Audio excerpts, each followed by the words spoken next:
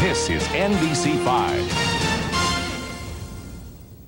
Teachers will tell you there is rarely a dull moment in the classroom. But today was more thrilling than most for a group of 47 school teachers in Mansfield. NBC5's Linda Frederick tonight explains. Terry Barnes wanted her second graders at Glenn Harmon Elementary to have more hands-on tools to learn math. And now, thanks to the Mansfield ISD Education Foundation, she can buy those tools. What are we going to get with all this money? Mathing.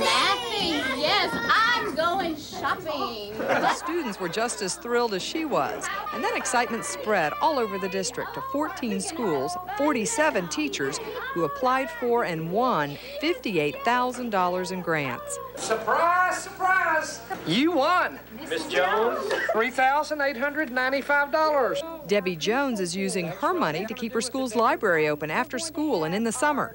Mansfield Foundation members delivered their good news all over the district. The financial awards were a surprise to each of the winners. Yay!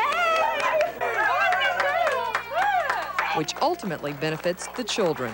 Awesome. Linda Frederick, NBC5 in Mansfield. The grant money was donated by local corporations and individuals. Mansfield educators hope to make the gift giving an annual event.